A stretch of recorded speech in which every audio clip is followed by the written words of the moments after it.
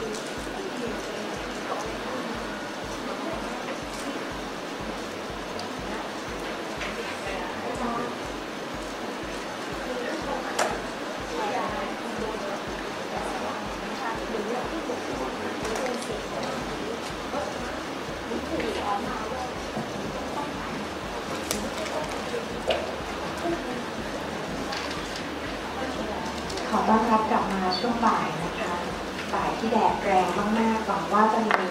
ลมเย็นๆหรือว่ามีลมฝนให้เราได้ชื่นใจสักนิดนึงนะคะนี่น่าจะไม่แข็งเท่าเขาบอกอยากอย่าต้องให้ถึงพายุเลยค่ะขอให้มีฝนสักนิดนึงเผื่อจะได้เย็นขึ้นหน่อยนะคะได้ค่ะถ้าอย่างไรเดี๋ยวเราเริ่มช่วงบ่ายกันเลยนะคะ จะได้ออกแรงกันนิดนึงเพราะอาจารย์บอกว่ามีกิจกรรมหนักๆให้ได้ใช้ความคิดเป็นหน้าดูเลยนะคะ เมื่อเช้ารู้แล้วว่า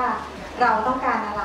แต่บ่ายนี้อาจารย์บอกว่าแล้วรู้ไหมว่าองค์กรของเราต้องการอะไรค่ะ เดี๋ยวอาจารย์จะมากระตุกให้เราได้เห็นภาพกันนะคะยังไงอาจารย์อยู่กับเราตั้งแต่เช้าแล้วขอแนะนำแบบง่าย ๆนะคะอ่าท่านเป็นผู้เชี่ยวชาญด้านพัฒนากระบวนการทางธุรกิจนะคะ ของสถาบัน BPM Consulting นะคะ แล้วก็ได้มีโอกาสไปพบกับทุกท่านที่บริษัทเรียบร้อยแล้ว คงไม่ต้องคุยอะไรกันมากค่ะขอเสียงปรบมือต้อนรับคุณศิววงศ์ค่อนดีค่ะ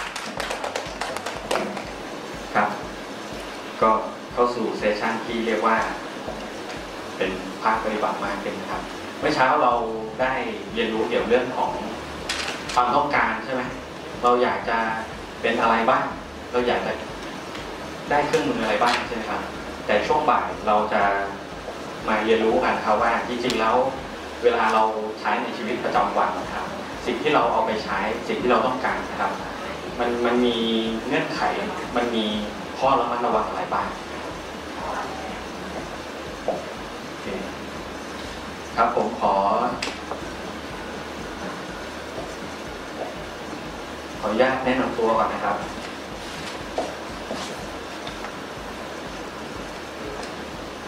สงสัยจะขาดนะ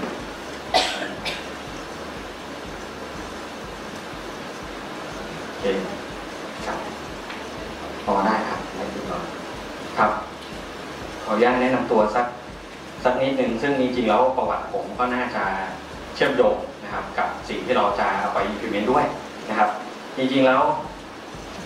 ผมเองเป็นคนที่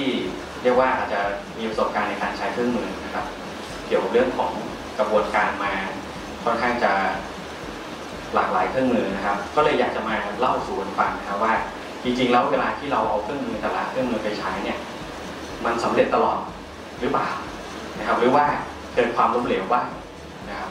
นะครับ ผมเริ่มต้นนะครับ การทำงานในในบริษัทแรกครับเป็นโรงงานแถวนวนครนะครับเป็นโรงงานผลิตเกี่ยวกับอุปกรณ์อิเล็กทรอนิกส์แห่งหนึ่งพนักงานในโรงงานก็หนึ่งหมื่นคนนะครับมีการทำงาน 24 ชั่วโมง สิ่งที่เกิดขึ้นก็คือว่า เราเองมีการแข่งขันที่สูงมากเลยนะครับใน 10 ปีที่แล้วนะครับ 10 กว่าปีที่แล้ว ถ้าท่าน คุ้นเคยกับตัวฮาร์ดดิสก์ที่ใช้ใน PC ใช่ไหมครับ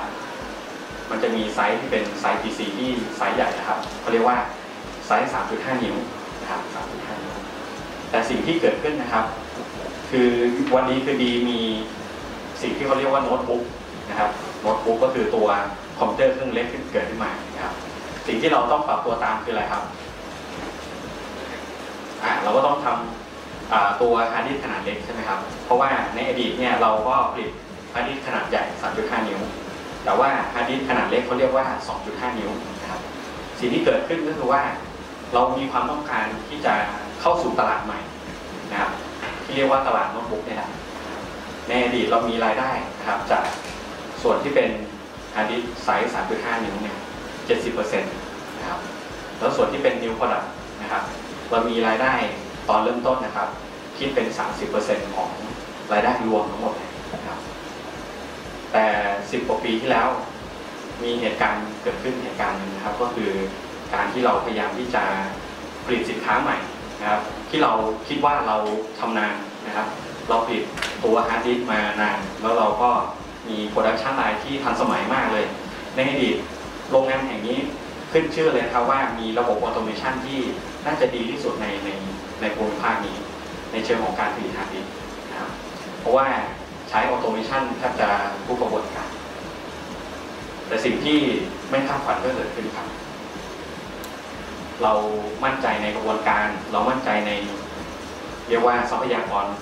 มนุษย์ที่เรามีใช่ไหมครับ เรามีพนักงานหนึ่งหมื่นคนด้วยกันนะครับ มีอะไรบ้างที่เราจะทำไม่ได้ เราทำได้อยู่แล้วสิ่งที่เกิดขึ้นคือเราขาดประสบการณ์ในการทำฮาร์ดดิสก์ตัว 2.5 นิ้วครับ แต่ว่าคู่แข่งเรานะครับ ในตอนนั้นเนี่ยเขามีทักษะมากกว่านะครับ เราเรียกว่ายิวที่เราผลิตตัว new product ตอนนั้นเนี่ย 15เปอร์เซ็นต์ลองนึกภาพนะครับว่าเราผลิตไป 100 เนี่ย เราขายได้จริง 15เปอร์เซ็นต์นะครับอีก 85 ก็ต้องไป rework นะครับ ภาษาโรงงานเราเรียก rework เอาไปถอดชิ้นส่วนแล้วมาประกอบใหม่นะครับเรามีต้นทุนนะครับ บางค่าที่บางบางตัวจะมีการ rework ถึง7ครั้งด้วยกัน7ครั้งลองนึกภาพนะครับฮาร์ดดิสก์ที่ถูกถอดประกอบเจ็ดรอบนะครับ มีต้นทุนเรื่องของค่าแรงไปขนาดต้นทุน material ที่เราไม่สามารถที่จะทิ้งชิ้นส่วนเหล่านั้นได้ใช่ไหมครับ เราเลยต้องมีการ rework ทั้งหมดเจ็ดครั้งด้วยกัน สิ่งที่เกิดขึ้นครับ เราเริ่มเห็นคู่แข่งนะครับคู่แข่งที่เขามีความชำนาญตรงนี้เยอะกว่า เนื่องจากว่าเขาไม่ได้ทำตัว 3.5 แต่เขาทำไซส์ที่เป็นโน้ตบุ๊กเนี่ยตั้งแต่ต้นใช่ไหมครับเขาทำตั้งแต่ต้นเขามีความชำนาญมากกว่าใช่ไหมครับลูกค้าเรามีการสั่งซื้อเราทำคอนแทคเป็นรายปีเลยนะครับ เรามั่นใจว่ายังไงลูกค้าไม่หลุดแน่นอนครับ ปรากฏว่าผ่านไปสามเดือนนะครับ เขาก็แจ้งมาว่าเขารอเราไม่ไหวแล้วนะเพราะว่ายิวเราน้อยมากเลยนะครับ คือเขาไม่มีสินค้าที่จะเอาไปประกอบเป็นโน้ตบุ๊กขายอะครับ เราเราเข้าใจได้นะว่าเขาก็รอน่าจะรอเราไม่ได้นะครับสิ่งที่เกิดขึ้นก็คือว่าเขาเริ่มทยอยยกเลิกออเดอร์ครับนะครับเริ่มมีเดือนที่สามเนี่ยเริ่มมีการทยอยยกเลิกออเดอร์ทั้งทั้งที่มีการเซ็น contract ล่วงหน้าหนึ่งปี เนื่องจากว่าเงื่อนไขตรงนั้นเนี่ยมีการบอกไว้ว่าจะต้องมีการส่งมอบนะครับ เพราะฉะนั้นเนี่ยเราเราผิดสัญญาใช่ไหมครับ เราส่งมอบไม่ทันนะครับเขาเลยสามารถที่จะยกเลิกออเดอร์ได้ สิ่งที่เกิดขึ้นก็คือว่า โรงงานแห่งนี้นะครับ เลยทุ่มเทนะครับ วิศวกรน่าจะ 70-80 คนได้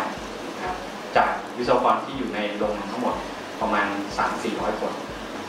นะครับไปที่ production line นี้เลยนะครับ เอาแบบวิศวกรที่เรียกว่า